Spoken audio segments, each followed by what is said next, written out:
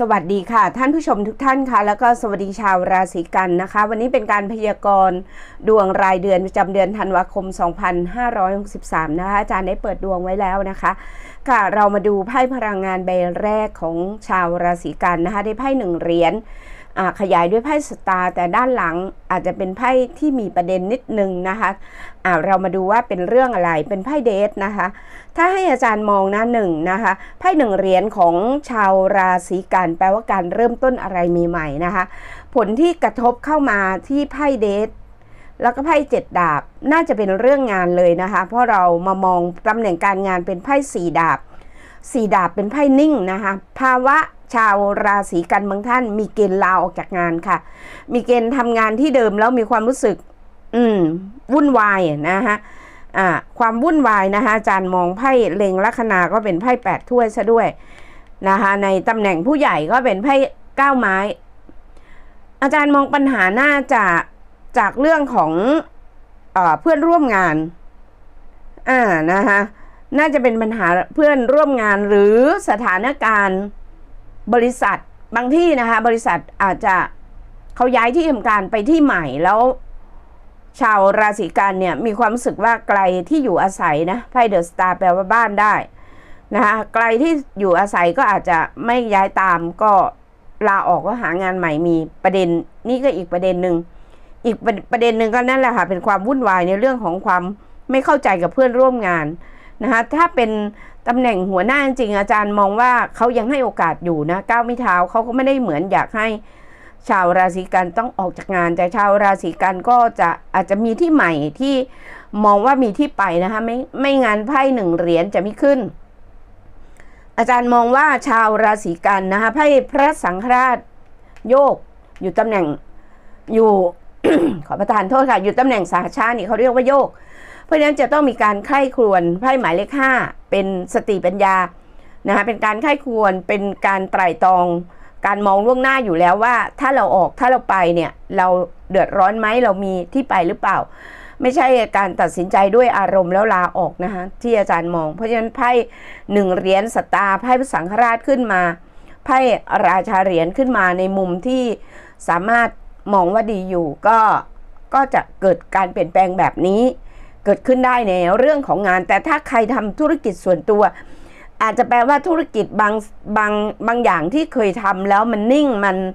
มองไม่เห็นการเติบโตนะคะ ชาวราศีกันก็อาจจะไม่ทำสิ่งนั้นแล้ว เราก็ถึงแม้ว่าใช่ที่ผ่านมาธุรกิจนี้ หรืองานชิ้นนี้มันอาจจะเคยทำเงินอะไรมาก่อน แต่ณตอนนี้มันนิ่งมันเป็นมันเขาเรียกว่าถ้าทำไปก็เป็นภาระ ก้าวไม่เท้าอาจารย์มองเป็นการตัดสินใจที่ที่ถูกต้องเลย ที่จะจบคำว่าเดทก็คือจบกับมันซะแล้วก็ไปเริ่มต้นสิ่งใหม่ ๆ ที่สตาร์มันมีอนาคตในการที่จะทำเงินอยู่พบการเงินนะคะในเรื่องของมีรายได้เข้ามาเติมเต็มเนี่ยคุณตัดสินใจถูกถ้าเป็นแบบนี้นะคะอ่าโอเคนะคะ ส่วนที่อยู่อาศัยนี่วงจุ้ยดีแล้ว คิงเหรียญบางท่านก็อาจจะมีรูปภาพบูชา ในหลวงรัชกาลที่ 9 รัชกาลที่ 5 ก็ได้อย่างเงี้ยนะคะเหมือนสิ่งศักดิ์สิทธิ์คุ้มครอง แล้วเดือนนี้เหมือนชาวราศีกันจะเน้นไปเรื่องของการสวดมนต์ปฏิบัติธรรมด้วยนะคะมีไพ่พระสังฆราชขึ้นมานะคะ ในตำแหน่งของอลูกน้อง ถ้าใครทำธุรกิจก็หรือทำงานที่เป็นระดับหัวหน้าลูกน้องคุณยังดีอยู่นะ หรือใครมีบุตร ครอบอมีครอบครัวมีบุตรบุตรก็เป็นคนเก่งนะคะไพ่ราชาดาบเป็นคนมีความสามารถนะคะ ส่วนในตำแหน่งศัตรูเนี่ยเป็นไพ่ห้าดาบ อาจารย์มองว่าไพ่ห้าดาบเนี่ยถ้าคุณเคยขัดแย้งหรือมีปัญหากับใครก็อย่าพึ่งแบบ ไปชะล่าใจว่าเขาเออมาดีกับเราแล้วอาจจะมีอะไรซุกซ่อนอยู่อันนี้ก็ต้องระวังนะคะอ่าอย่าไว้ใจทางอย่าวางใจคน จะจนใจตัวได้ด้วยเหมือนกันนะคะ ในตำแหน่งอริปัญหาอุปสรรคแต่ถ้าเป็นตำแหน่งความรักถ้ามีถ้ามีความรักอยู่นี่ก็ถือว่าไพ่อย่างนี้อาจจะไม่เข้าใจกัน อาจจะทะเลาะกันระวังเรื่องของมือที่สามระวังเรื่องของการยุแยงตะแคงรั่วนะคะห้าดาบเนี่ยเป็นคนสามคนนะคะในไพ่เนี่ยมีคนนึงยืนอยู่ข้างหลังถือดาบแบบยิ้ม แต่สองคนทะเลาะกันเนี่ยมันจะสื่อถึงทำให้มีมือที่สามทำให้คุณกับคนรักทะเลาะกัน เพราะฉะนั้นอย่าให้เรื่องของคนอื่นมาทำลายความสัมพันธ์เนี่ยต้องระวังเลยในเดือนนี้สำหรับชาวราศีกันนะคะ โอเคเรามาดูไพ่นำดวงหรือเลขโชคลาภอ่าเลขที่ขึ้นมานะคะมี 2960 นะคะสำหรับราศีกัน 2960 ถ้าไพ่จะแนะนำอะไรเนี่ยคล้ายๆที่อาจารย์แปลไปตะกี้เลยนะเนี่ยมองเห็นไหมคะรูปรูปภาพเนี้ยเป็นปืน อันเนี้ยแล้วก็นี่มีการ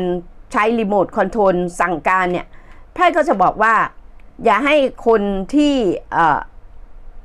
ไม่หวังดี ภาพเป็นตัวสีแดงคือเป็นสิ่งที่ไม่ดี มาคอนโทรลและสั่งการเราได้ เราต้องคอนโทรลตัวเราเองต้องมีสติ เหมือนไพ่พระสังฆราช ไพ่จะแนะนำประมาณนั้นนะคะ ก็โอเคลองเอาไปปรับใช้ลองดูนะคะ อาจารย์ก็อ่านจากเรื่องราวที่เกิดขึ้นได้ประมาณนี้ก็ขอให้ชาวราศีกันทุกท่าน และท่านผู้ชมทุกท่านที่เข้ามารับชมรับฟังจงมีความสุขประสบความสำเร็จนะคะในตั้งแต่ปีสิ้นปี 63 แล้วก็ปี 64 ที่จะถึงนี่มีความสุขกัน มีเงินมีอ่า โชคลาภเข้ามาปังๆกันทุกคนเลยนะคะ ขอบพระคุณมากนะคะที่ติดตามนะคะ สวัสดีค่ะ